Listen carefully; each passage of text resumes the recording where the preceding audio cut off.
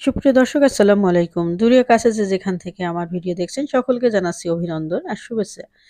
আজ আমি আপনাদেরকে দেখাবো কাঁচকলার কাটলেট কীভাবে ফ্রোজেন করে রাখবেন। সামনে রোজা আসছে, আপনারা কীভাবে এটা ফ্রোজেন করে তারপরে এটা রোজার সময় ইফতারে ব্যবহার করতে পারবেন সেটা আমি দেখাবো। তো আমি কাঁচকলা এখানে সিদ্ধ করে নিয়েছি, নিয়ে এখন ম্যাশ করে নেব।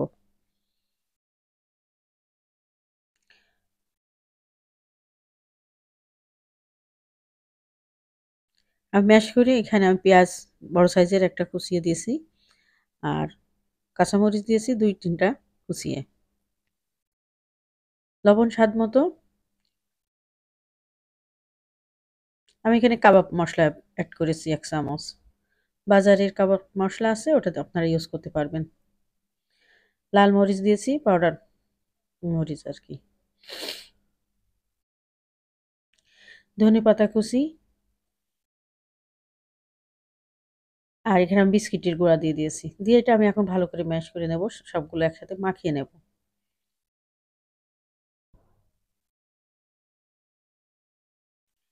ভিডিওটি না টেনে এর জেড দেখবেন কীভাবে আমি এটা ফ্রোজেন করব, করে এটা আবার পরে ভাজবো, সেটা আপনারা দেখতে পারবেন। আপনারা রোজার মাসে এটা করতে পারবেন।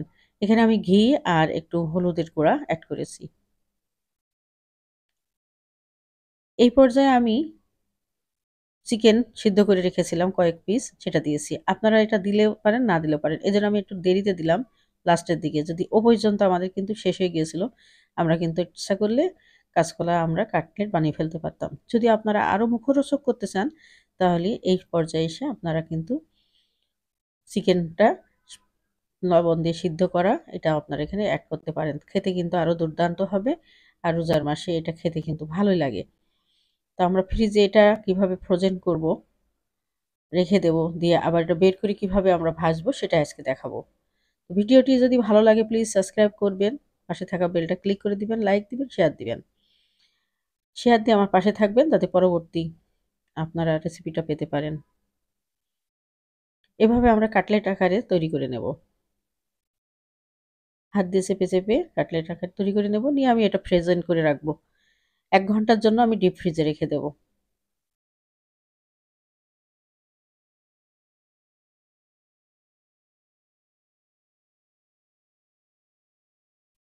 এভাবে একটা কাগজের উপরে রেখে একটা ট্রের উপরে কাগজ রেখে এইভাবে আপনারা এটাকে সাজিয়ে ফ্রোজেনে ফ্রিজের ভিতরে ডিপ ফ্রিজে আপনারা এটা রেখে দিবেন এক ঘণ্টা মতো বা তার চেয়ে বেশিও রাখতে পারেন।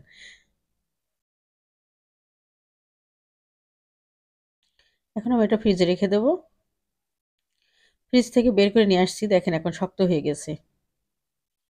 এই পর্যায়ে আমি এখন একটা এয়ারটাইট ব্যাগের মধ্যে জিফার ব্যাগের ভিতরে আমি এটা রেখে দিয়ে ফ্রিজের ভিতরে রেখে দেব। আমি যখন খুশি এটা তখন বের করে আমি এটা কিন্তু ভেজে খেয়ে নিতে পারব। রোজার মাসে আমরা খুব ব্যস্ত থাকি, কোরআন শরীফ পড়া বা নামাজ কালাম, অনেক কিছু কাজে ব্যস্ত থাকা হয় ইবাদত বন্দিগিতে। তাই আপনারা আগে ভাগে এইভাবে ফ্রোজেন করে রাখতে পারেন যে কোনো খাবার। আমি কিন্তু সামনে আরও কয়েকটা রেসিপি নিয়ে আসব, কীভাবে খাবার ফ্রোজেন করবেন রোজার মাসে। এভাবে এয়ারটাইট ব্যাগের ভিতরে রেখে বাতাসটা বাইর করে নিতে হবে, নিয়ে মুখটা আটকে দিতে হবে। দিয়ে আপনারা ফ্রিজে রেখে দিতে পারবেন, যখন খুশি বের করে খেতে পারবেন। আমি এটা বের করে নিয়েছি দুই, তিন সপ্তাহ পর। এখন আমি এটা ভেজে দেখাবো যে কীভাবে আপনার ফ্রোজেন খাবার ভাজবেন।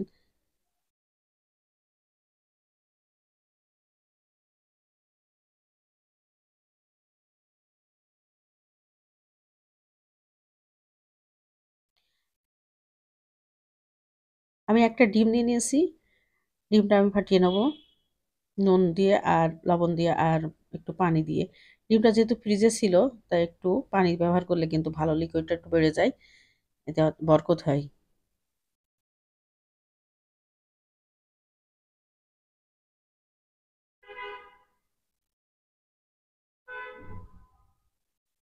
একটু পানি দিয়ে নিচ্ছি যাতে এটা আর একটু বেড়ে যায়, বরকত হবে। আপনারা অনেকগুলো ইচ্ছে করলে কিন্তু ভেজে নিতে পারবেন। কারণ ফ্রিজে থাকলে ডিমটা অনেক সময় পানি অনেক কমিয়ে যায়, শুকিয়ে যায়। ভিডিওটি ভালো লাগলে প্লিজ সাবস্ক্রাইব করবেন আর পাশে থাকা বেলটা ক্লিক করে দিবেন লাইক দিবেন শেয়ার দিবেন কমেন্ট করবেন। আমি এখন বিস্কিটের গুঁড়া দিয়ে এটা ভাজবো। কীভাবে ভাজবো এটা দেখবেন। আমি ডবল কোট দেব না, একটা কোট দিলেই এনাফ বিস্কিটে চুবিয়ে বিস্কিট ডিমে চুবিয়ে বিস্কিটের গুঁড়া দিয়ে আমি এটা উল্টো পাল্টে নেব, নিয়ে আমি এটা ভেজে ফেলব। দেখবেন খেতে কিন্তু দুর্দান্ত লেগেছে, সত্যি। আপনারা বাসায় একবার ট্রাই করে দেখবেন, রোজার আগেই। আর রোজার মাসে আপনারা ইচ্ছে করলে এভাবে রেখে দিতে পারেন কাঁচকলার কাটলেট। শিশুরা তো কাঁচকলা খেতে চায় না, তা আপনারা এটা ইচ্ছে করলে এইভাবে বানিয়েও তাদেরকে দিতে পারেন।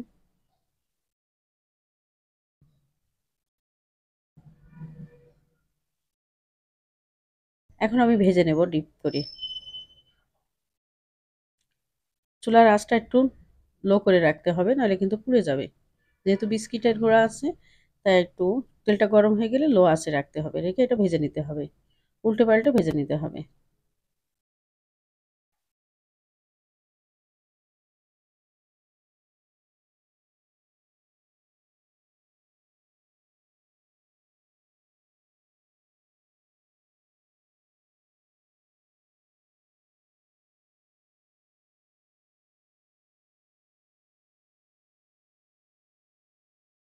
শুধু দেখতে সুন্দর লাগছে না, খেতে কিন্তু দুর্দান্ত। আপনারা একবার বানিয়ে দেখেন কতটা সুস্বাদু এবং স্বাস্থ্যকর খাবার।